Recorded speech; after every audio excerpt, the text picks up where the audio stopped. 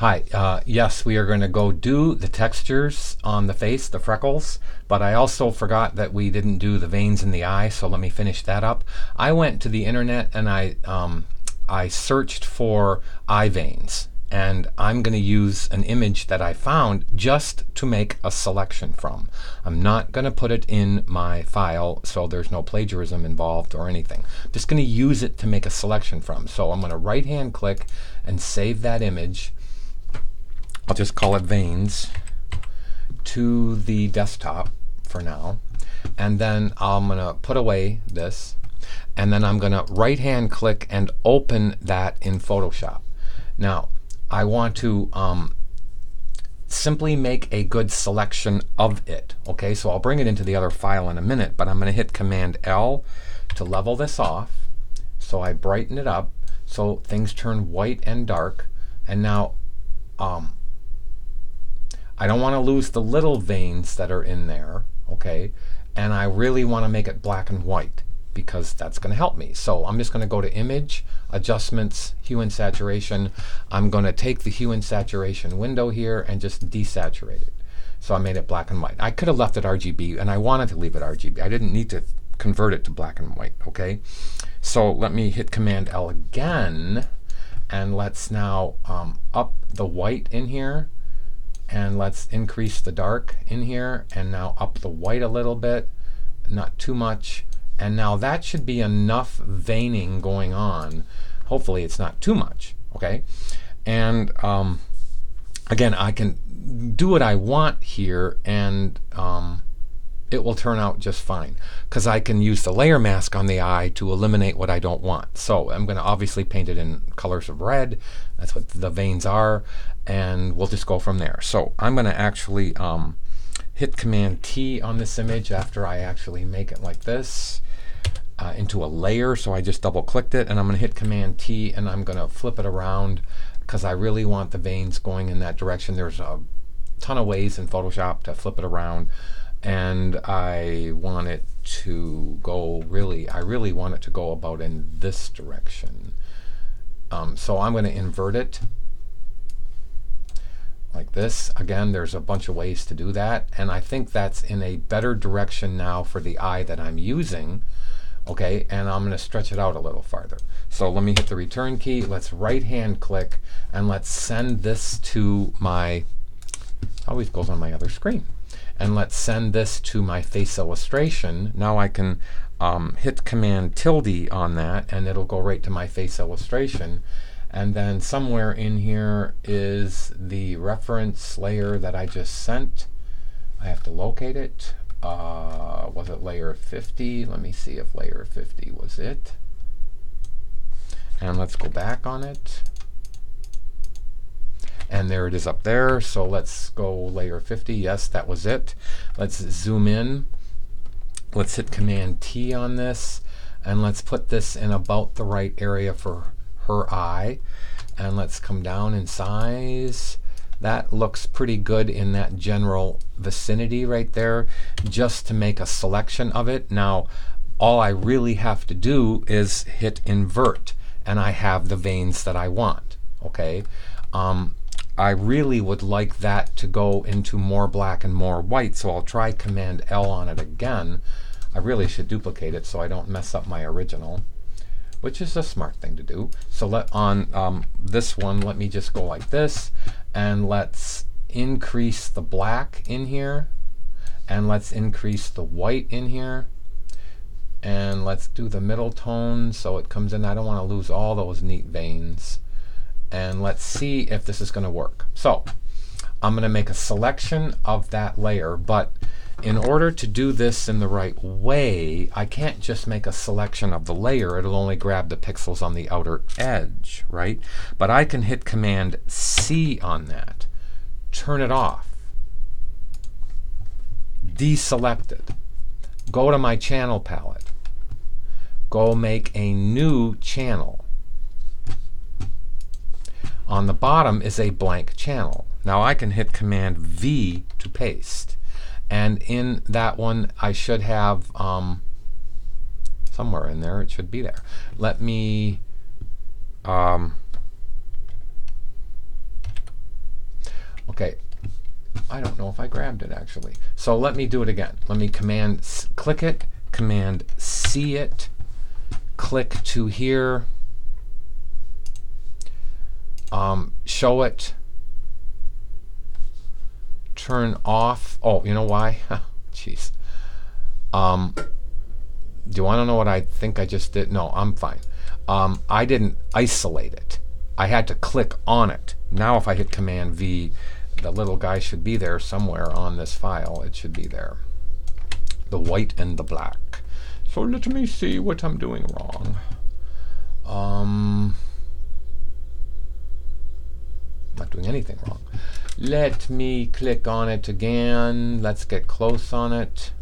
Make sure I am correct. And it should be a Command C. I'm not doing anything wrong. That is, I'm so allowed to paint this on here. Let's go over here. Okay, it took me three times. I did the same thing each time. I think I should maybe purge Photoshop. Okay, so let's go purge all. And now, um, the nice part about this is I have the selection I'm looking for, so I can take the B key, paint at about 50%, and now paint out. Whoops, I made it too big. Let's paint out what I don't want in here. So let me make the brush a little bit like this. You know, your um, your ability and my ability and everybody's ability in Photoshop to do what you want is based on how well you understand what all the things can do. And you know, one of those why I'm saying all this is um, i like that vein here. I like some of that. And then I just can erase it on a layer mask. So let me just take this away. It's probably too big to do the job that I want, but you know what? It's okay. Um, I can come in here and I can actually now make a selection of this. And then did you know that I could just contract a selection? And contracting a selection will probably do what it is I want. Now let me click back up to the RGB image. So we have that where we want. Let me turn off layer 50 and let's go now make a selection of that new channel. I should name it I. I should name it veins. Let's make a selection of it. And now do you see how it's turned into the proper veins in a selection? So if I click up here, there's my veins. Now, um, I probably need to hit Command T. I'm sorry, you can't hit Command T. You got to go to Transform Selection. And let me just move it in the right way and move it up in the right way and let's see if I can compress it and just do a couple of things that are going to make this look okay. I don't know how this is going to look. So um, I'm just going to start the process. So let's just see. I might have to go get a different one, but I just want to see if it's going to work. So I'm going to go get this color in here, which is this nice red that I'm going to make. Let me make sure I'm in the right. That's the red I want. So let's zoom in and get this tone red here. And then I need to obviously go into a deeper red. More like this red. Okay, let's see if that's going to work. And I might need to contract that selection, okay? And just because the selection is stopping here doesn't mean it hasn't grabbed a whole bunch of other little things. So um, let me hit Command H. Let's turn off the clicky copy let me hit the V key and right hand click right there and it will immediately go to my eye white layer. As you can see, it's right there. So I have eye detail, eye detail, eye detail, eye detail. Let's go up to the top of eyes and put in the veins. So let me move this up. Wow, do I have a lot? Okay, eye I even had an eye vein layer ready. Wow, that's pretty cool. So let's go in now and make a selection of it and let's start to paint in the veins that I want, let me Z back because Mr. Silly was actually painting them at 50% and I should be down to 5. So let's go up like this and now I can paint in the eye veins and you can see that that's got a beauty. It's actually gorgeous. It actually did a really good job of painting in those veins. All right. Now, um, and I'm going to use my capabilities of layer masks and everything else to minimize those. So um, this is what I want to do. I want to hit Command H and see where the selection is. Now I want to go up to transform the selection and I want to turn them. So let me see how big the selection is. Um, see that should there should be a transform box there and there's not. Let me go in. Okay, why that took so long to do. Let me flip it and let's move it over so it's in a different area here. And then I'm going to put a few more veins right in there. So let's hit the return key, let's hit Command H, and now let's paint a few more veins inside of here.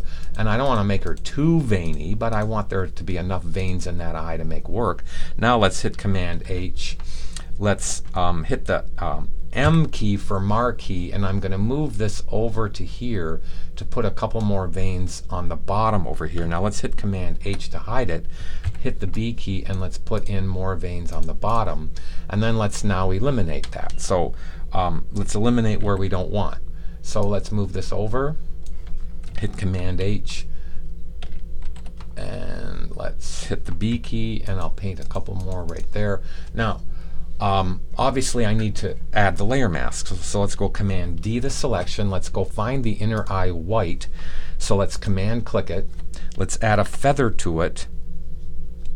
Actually, with it selected on this eye vein layer, I'm going to click the layer mask button. And it got rid of what I didn't want. See, it got rid of everything outside of it. Now, let's deselect, let's hit the B key, and let's make sure that we are minimizing what I have here. Make sure my brush is all the way soft. And now let's minimize this here. Let's minimize all of this so it's barely showing up. And now let's get back on it and let's see that this young lady has veins in her eye now and I need, I don't mind that they're like that, that's fine. But now let's turn the opacity down on them so they're not so prominent. So let's just minimize the opacity until they're just barely showing up. And now I have the veins in the eye. Now, um, I need the veins in the other part of the eye. So what I should do is make a selection of those veins and then keep on painting on the vein layer or make a new one. So if I, I'll make a point here. Um, I'm going to duplicate that layer. I'm going to take the second one, turn off the first one, and I'm going to hit the um, Command D and I'm going to hit the V key and I'm going to move these veins over to this side. And I'm going to flip them. So let's hit Command T and flip them around this way. So I have now veins right there, see? Now, all I have to do is change the layer mask. So if I right hand click and delete the layer mask right there, all I have to do is now add a new layer mask. And to tell you the truth, they should be below the retina, not above all the pupil. I meant the pupil. So now that I'm thinking of this, these guys need to move below the pupil shapes. So I now have them below the pupil shapes. But I still want this one to have a mask on it. So I need to go back to the inner eye white without the little shapes there. So I'm going to subtract that.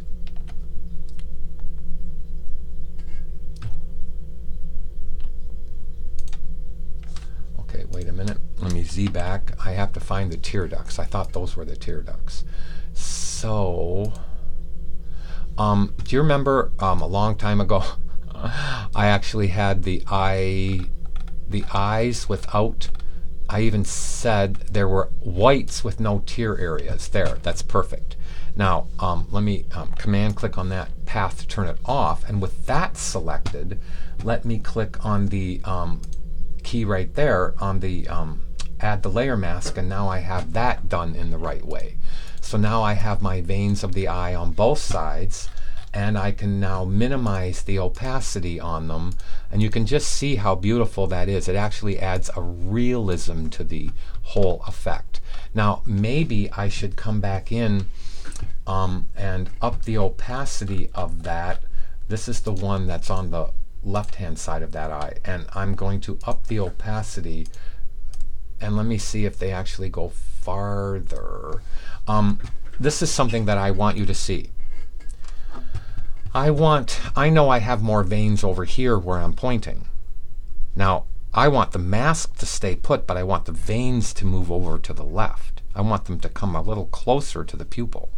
So I uncheck, make sure I'm on the right one, which is this one. I uncheck the link button. Now by unchecking the link button, the mask stays put and you see how I can move the veins farther over to the retina. Did you see how I did that? I think that's pretty cool. So you can um, use it like a mask that is in stable position and the image moves. Or I could have clicked over here to the mask and moved the mask and the veins wouldn't have moved. That was would have been silly. But now I want to do the same thing on this side um, in the capacity that um, if I turn on the clicky copy, um, I want to remove some of the veins right here. So I'm going to click on the, let me make sure I'm on the right one. I am. And hit the B key. And now I want to take a little bit of that vein away right there next to the, um, next to the pupil. So I think that looks real and it makes her eye have a really good feel. I made a little rhyme. I'm actually going to remove more opacity from that side now. I just want the veins to be subtle. Now, I need those veins to go over to the other eye. So, let me click and see that it's just about the same thing. So I can just about use exactly the same, let me show you what I'm talking about. I can use this one and just move them and then change the mask. So I can come over to here, duplicate it, remove the layer mask, Okay, I did. Let me take the V key, zoom in, and grab these veins and put them over here on this eye. Now I have those, I need to get rid of that vein right there, um, which is just too intense. Um, actually, I, you know what I want? I want to turn that one. So let me hit Command T and turn this, going this way. There, that looks better. And now let me make it a little deeper and come up with it. And now, boom. Now, um, let me move it a little closer in and let me see what she has to offer as far as her eyes go. It's fine. I think that's good. Let me move this a little farther out. There. And now I'm going to use um, my capability to, um, gosh, I really want to, I don't, I'm still not totally happy with it. Let's go like this let's flip it and bring it back down this way. And let me flip it this way. Okay, I think I like that better. I think I like that better. So now I'm going to go to the selection for the eye area and I'm going to add a mask to that layer. So let's find that selection again, which is eyes with no whites. So I go like this I now click the layer mask button here and now that's been layer masked. Let me click on the layer mask and let's hit the B key and let's soften this right over here and soften this. So what I'm doing is I'm actually softening these veins right over here. And now I have veins on that part of the eye.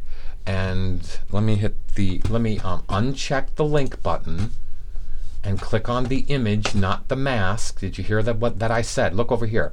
I'm on the image, not the mask. I'm hitting the V key and I'm going to zoom in and move these around until they feel better and that feels better to me. Now I have veins on that part of the eye. I think I'll take the B key and I'll click on the layer mask and I'll just make that a little bit more subtle just a little bit more subtle right there. And now let me see if they're on the other side. Oh, she definitely has them on the other side. So all I need to do is duplicate it again, get rid of the layer mask, grab the image, put it on this side right over here, and now just go back to the one that said um, with no tears and um,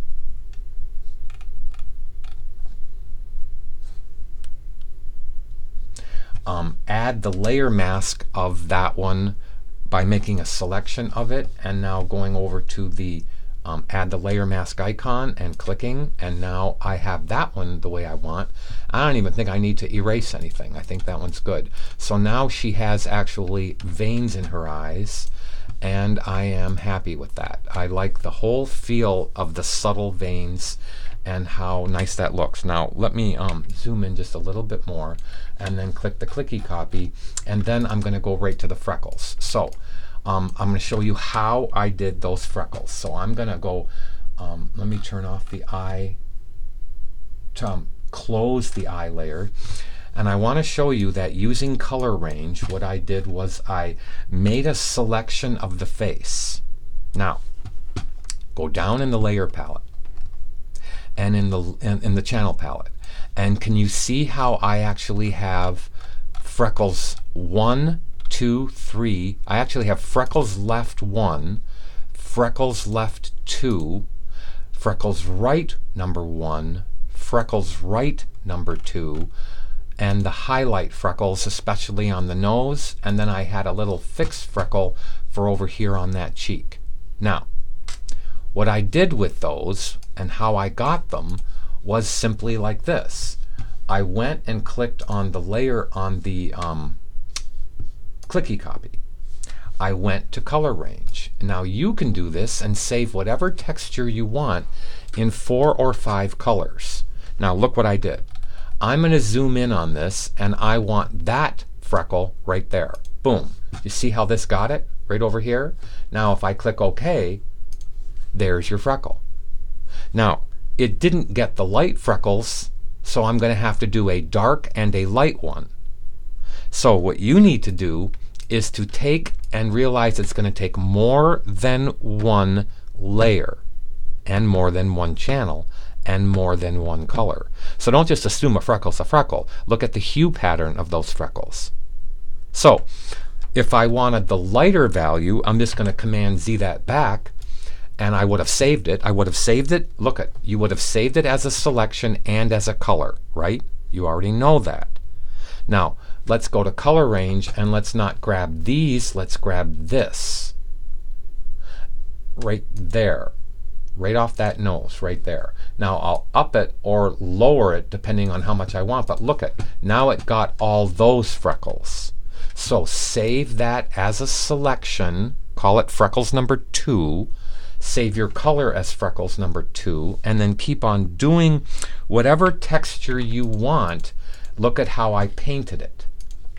So it's basically this simple. Now I'm going to remove all of my freckles right here. All of my freckles. I got five freckle layers, or six. I had a freckles 1. Do you see that one? That was the darker one. I had a freckles 2, which even got darker. Okay, and it got a little bit of the hair, which I actually Gaussian blurred up on top. So I now have the freckles over on this side. I now have the freckles on the top of this over on here. So I actually used my freckle channels that I named one, two, three, four, five. I named them in whatever order I wanted. I'll click up to back up to the RGB image. And now here comes the next freckle layer. Now the next freckle layer is here. The next freckle layer is here, and then the next freckle layer is there. See that one? I didn't have the one for the um, the last one, make sure that I'm on it, is the one where I got the freckles on the front of the nose. That was a separate one. And in the highlight area, because that was a different color. Now look how nice and natural that looks. And notice how each one, or almost all of them, have layer masks because I wanted to um, paint out some of the freckles. And a couple of them actually have their um, a couple of them have their um, opacity knocked back. So I think I did anyway. I know I did on one of them. Well, maybe I didn't. But I, I didn't. I actually just used the layer mask to knock back the opacity, if you know what I mean. So now, here is the veins in the eye and the texture on the face. Now, if I click the clicky copy back and forth, you can see that I'm doing pretty good. I probably should lighten up this cheek over here. Um, and I have to show you that I've kind of started the lightening up process. And what I'm saying is down here, let me see where I put it. I have a nose lighten area. Please look at the center of the nose here. Now that the freckles are in there, I realized I needed to have lower than the freckles a highlight area. Now I could click a new layer right above that and I could call it right cheek because it's her right cheek.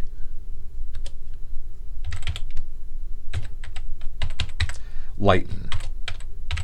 Kind of like a fix layer, you know what I mean? So I'm going to turn on this which is the clicky copy, hit the B key, toggle the brush a lot bigger, and I'm going to grab this color right here, which is underneath. Now, I'm going to turn off the clicky copy, and I'm going to brighten this cheek area by just now painting underneath. And look at how nicely that is actually brightening that. Look at how I'm actually bringing in a little bit more of that value. Now, I think I actually need to move it up in the list here for it to truly show up. Okay, I moved it up too high. So let's go down a little bit. And now that was the proper layer, if you follow what I'm saying, for it to actually show up. Let me Z it back once and Z it back again. Down here, it didn't show up very much. I needed to move it up higher so that it showed up. Let me see where it is again. I needed to move it back up so I actually now I'm seeing it maybe one more layer higher, and that looks really pretty. Now she has a nice highlight on that cheek. Now if it's too bright, I can just go and knock the opacity back on it, and in fact I'll zoom in a little bit, and then I'll end this movie because I'm ready to start the hair and the Wacom tablet material. So um, I have this at 95% opacity. I just want to play with it. You either take it away or you put it back. And look at how you have so much freedom in this application. So I hope you're enjoying this. I am, and it's fun to do okay? And that's my artistic license on her. I wanted a little bit more tone in there than what was in the original. And again, I'm not done underneath the eyes or around the, the depth of the eyes. When I do the eyebrows and I put in the hair, it'll really help. So I hope you're enjoying this. I'll see you in the next movie.